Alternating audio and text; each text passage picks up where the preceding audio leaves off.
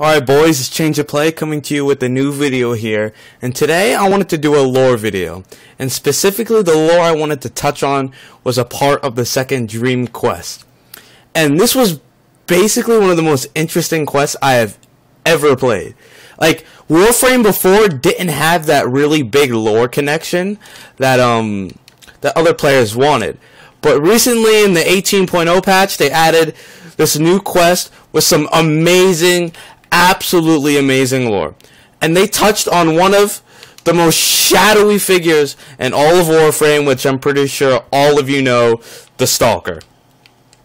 And before I get started on the video, I just wanted to let you know I will there will be heavy spoilers. So if you have not done the second Dream Quest, turn back now. Uh, cause there will be a, a fuck ton of spoilers and don't blame me if I spoil something because I told you. I, I straight up told you. So, let's get started here. So, the Stalker is this shadowy figure that seems to hunt down Warframes, and my and the and in the second Dream Quest it revealed like who he was. It seems that the Stalker was a Tenno, and that's what the Lotus told you, is that he was a Tenno who became corrupted. But it seems that it, the Stalker is definitely appears to be using the Excalibur Warframe with a few, definitely a few buffs. And as we know from the second Dream Quest, uh, Warframes are walking hunks of metal. And that is exactly what Hunhow told the Stalker when he says you could cut them down all you want, but they'll just keep coming back. You need to get to the source. And my question is, is and what it revealed when the stalker went to the sanctuary and kind of took you out of your pod and was about to fucking wreck your face, he stabbed your warframe with the war. And you're supposed to be controlling the warframe as the Tenno. But your warframe seemed to have moved with a mind of its own and took the war out of itself. So my question is, can the Warframe act without the Tenno operator? Which brings to the question of what the Stalker is. Because if the Stalker came corrupted by the idea of the Sanctuary, my theory, my personal theory, is that the Stalker is actually just a conscious Warframe. It's a walking hunk of, of metal. And my reason for that being is is that if he was a Tenno with this cause, he if you're a Tenno, you know you're controlling the warframes. Like it's like it's it's apparent. You just don't know where you're controlling them from or how you got there. So what I think happened is that the Tenno operator brought the Stalker back to the sanctuary where the uh, Tenno are hidden to operate the warframes, and it essentially he just turned him insane and he grew a consciousness of his own and killed his Tenno operator. And that is my personal opinion on on why the stalker seems to have seems to hate Tenno.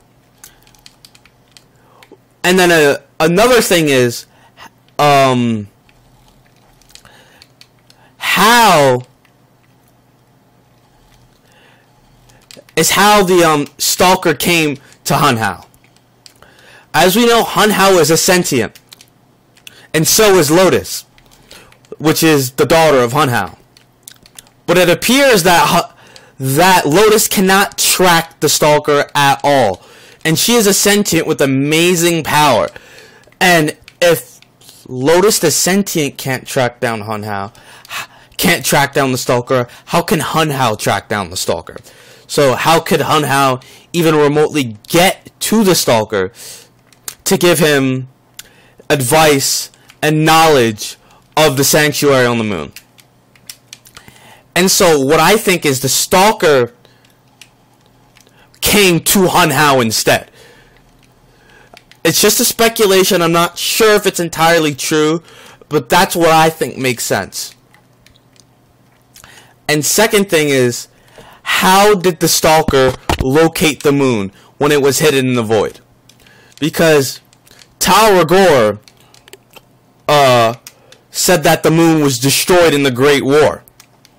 But apparently, Lotus hid the moon in the void. I don't know how the fuck you staged the moon's death. That's some amazing ass shit. I mean, if the moon just flat out disappeared, I'd be like, oh, where the hell did the moon go? I, I don't know how she did it. She must have been a battle close to the moon and she staged like some miraculous explosion of of some catastrophic caliber and everyone thought the moon was destroyed and that's where the Tenno Sanctuary was. But how did the Stalker find the moon in the void?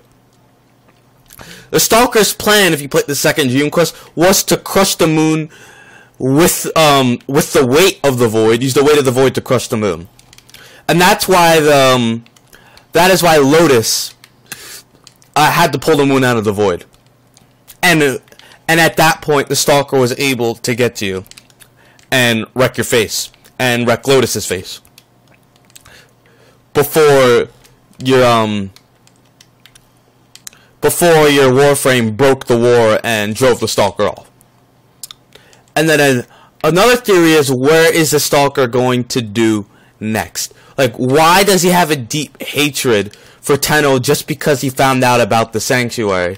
Or was it more the fact he has a date a deep hatred for Tenno is because he was just a puppet being controlled by an by a being of of random sort.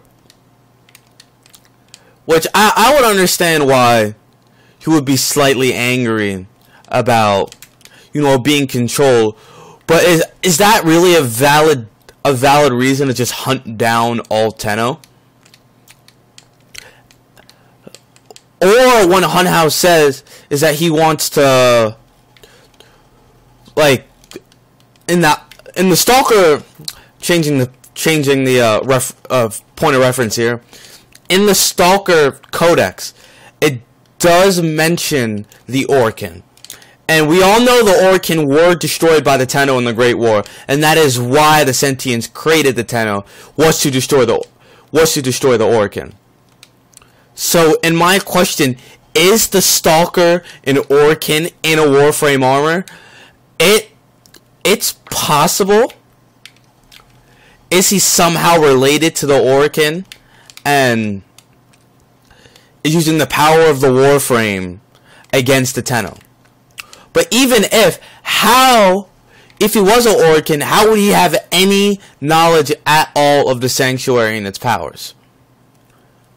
That is the main question. Because the Orokin had no knowledge of the Sanctuary, and if they did, the Tenno would have been destroyed in the Great War. And there would there would be no Stalker to begin with.